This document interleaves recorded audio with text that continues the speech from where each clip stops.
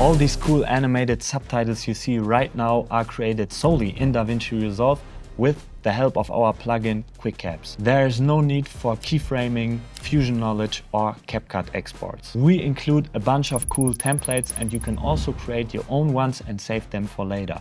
And here comes the best part, our plugin QuickCaps is completely free, so check the link in the description if you think it could be helpful for your video editing process. In this video, I'm gonna show you how to install the plugin. It's basically just one double click. How to use the plugin. I will also show you some extra functions we added that makes it a little bit better than, for example, snap captions and how to use our templates and how to create your own ones. But before we start, I want to quickly introduce myself. I'm Josh, a filmmaker from Germany. I worked as a for the past three years.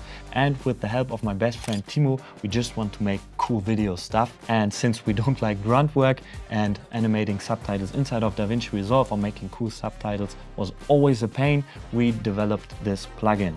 And it might help you too so stick around. QuickCaps is available for macOS and Windows but it works 100% the same inside of DaVinci Resolve. So go to macOS if you're a Mac user and double click this installer file, double click again, and you're good to go. For Windows, head over to the Windows file and just double click this exe file. It will do the same. Before we start, we also have to install some fonts for the templates. So go into this fonts folder, mark all, double click, say open and click install here. At my device, it says replace because I already have these fonts, but it will say install on your device. Just click install and you're good to go. And obviously do that for all these fonts. Then one step we also have to do is go to the bin section. This is very important and double click this bin. That will automatically load the templates into your project.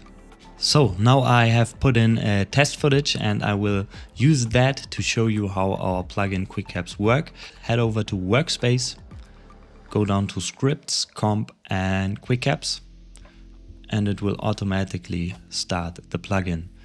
But before we start with the plugin, we have to do one more step. Go here to timeline, create subtitles from audio. And this is very important, max out this field here characters per line to 60. Say create, because we are using actually the default function of subtitle creation inside of DaVinci Resolve. And now go to Workspace, Scripts, Comp, quick caps and run the plugin again. And now you can choose like your folder where your designs are stored. You will you can also create like own folders and with own templates. I will show you that later. And here you can pick your design. Social Essential 1 to up to 7. We also have a bigger pack with up to, I think, 57 uh, Social Essential templates that you can buy for a fair price, but we include completely for free this plugin and 7 also very, very cool uh, templates right here. So we can choose, for example, Social Essentials 7. Let's start from the back. And now we have some extra functions we added that makes it very cool. We can say all caps, we can say all lowercase, or we can say capitalize first letter. Then punctuation, we are able to remove comma, remove periods, and remove all these other things here if we don't want it in the end result. You can also click remove all punctu punctuation if you don't like punctuation at all in your subtitles. So now let's get to the real deal. We have these extra functions here. First of all, you can also remove numbers. And what really makes it better than Snap Caption, for example, still Snap Caption is a good, good tool. Don't get me wrong, try both. But what makes it really a little bit better is this word limit feature. Here we can set an exact number. Let's go for three, that works usually the best. And in the end result, in every title, there will be three words. So pretty cool feature. Then we have lines per clip, how many lines should be in every title. Let's stick with one, that's most of the time the best, so single line. We also have this one word per line feature that's important for some special designs. I'm going to show you also a little bit later. And we also have the option to fill gaps and we can also set the numbers of frames to fill. So let's test it out, hit generate and you see subtitles have been created, works pretty well. And if you want to switch your video to a vertical aspect ratio, for example, if you want to publish it on TikTok or Instagram, use vertical re resolution, check that box, say save, and our templates will automatically adjust in scale and position. So also pretty cool. Also in the source folder, you will find a folder named title safes. So we have included like three title safes for the most common platforms, YouTube Shorts, TikTok, and Instagram. So you can just drag and drop it into your project and drag and drop this title safe over your timeline.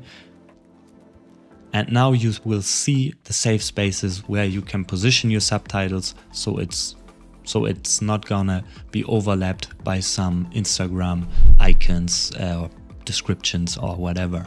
Small feature but cool feature, I think it's useful. And yeah, that's basically how the core plugin works. And now let's talk about templates. As mentioned, we offer like a full package of 57 title templates that you can use for your subtitles. And when you download these, the folder will look like this. And it will basically allow you to yeah have a way bigger variation of title designs and title animations that you can use for your projects. So how do we install that? It's also very simple. We include obviously this fonts to install folder. Click here mark them all double click say open and install. Very easy very straightforward also, we include the title safes I just showed you, and then we have two files. Uh, this .drb file is the one that is important for QuickCaps, and this .drfx file will load automatically your designs not only into your project but into the DaVinci default templates that are presented right here.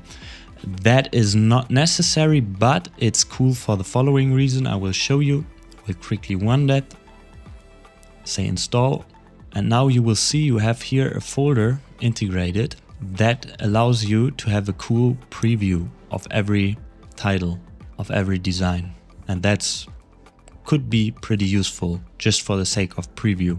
Go back to the source folder and double click the .drb file and now it will automatically load these new design templates into your project. So oh, be aware, I accidentally loaded them into the title safe sections. We don't want that. We always want to want this quick caps folder to be at the masters folder. So drag and drop it here. And we also want to delete this old bin that we have been used before. So QuickCaps doesn't get confused which bin it should search through to find the templates. So delete the first bin. If we run the plugin again, update these, we will have way more templates to choose from and can randomly pick one, play a little bit around with the settings, click generate, and titles have been generated once again with another cool template. I think that looks actually cool. Like I mentioned, we have an extra category that says one word. These templates work a little bit different than normal templates. I will show you that right now. So if you choose these one word templates and leave everything as it is here and click generate, it will look a little bit weird. That's because these titles work a little bit different. I'm gonna show you that here. Look, if I'm gonna press enter, what it will do is presented after the title and change the color of it. So it's a pretty cool effect. So it basically tells like DaVinci Resolve line 1 has color blue, line 2 has color purple and so on. How do we make use of this? So what we do is check this box, increase this to 5, that works most of the time well for these kind of designs, and say lines to clip 5. So it will match this. And now hit generate. So if you play back this now, you will see it changes the color and it looks pretty cool. That's why we put this extra folder that says one word, pretty cool thing. So one thing that can be a little bit annoying is when you, let's say, open up a different project and you now want to use QuickCaps, you would have to go back to the folder and double click this .drb file again. So it will load up again into your project and then you can use these templates. That's one a little bit annoying extra step and how you can get rid of this is with the help of power bins. What are power bins? Power bins are actually folders inside of your project that work across projects. So they stay the same across projects. You can basically drag and drop that into your power bin folder. Bop. And now if I open up a totally different project, it's basically the project, uh, the introduction you just saw. Um, I see I can go to power bins and I have now these two quick caps folders because I just dragged and dropped the second one also into here. And now I can, uh, yeah, just take that and put it inside of here. And now the plugin will find that. So pretty convenient. I will get, I will go back to the other project and yeah, here I can now use that. If you don't see the power bins section, go to these three dots, click here and say show power bins.